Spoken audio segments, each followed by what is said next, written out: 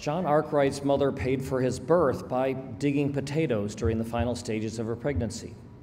And later she recited Poe's The Raven to put John to sleep at night. He earned a doctorate in economics from the University of South Carolina with a dissertation on terrorist bargaining. John met his wife Julia at a Dungeons and Dragons game in college. And they now live in a small southern mountain town with their three sons. Many details of his life in the South help to paint the picture of his Civil War fantasy story, The Sundial, a contest finalist that was chosen for inclusion in the anthology. Please congratulate John Arkwright.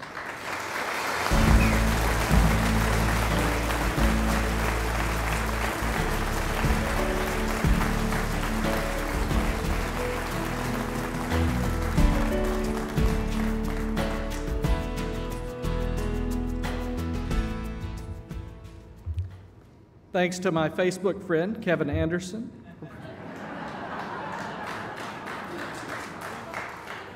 I think he is everybody's Facebook friend. Thanks to Heavenly Father for answering my prayers. Thanks to my mother. Thanks to my father, who is my hero. Thanks to my wife, who is my best reader. She is the most voracious reader in the world. She buys five books a week she is financially ruining me.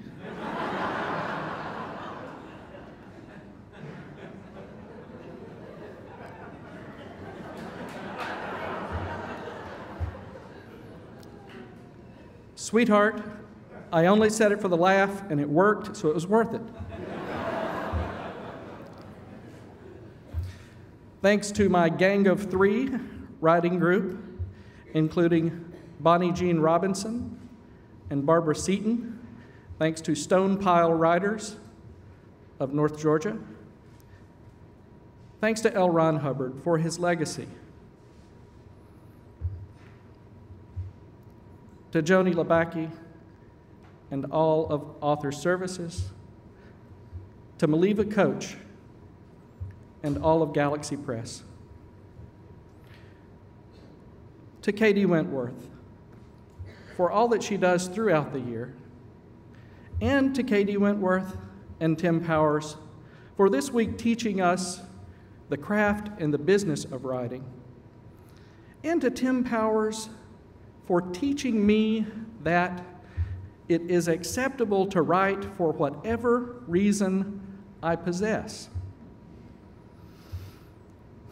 Thank you to the judges for all the work that you've done, for all the wisdom that you have imparted to us in these last few days. For all those years when we were reading your books, we knew you were entertaining us, we knew you were inspiring us. We didn't know you were teaching us.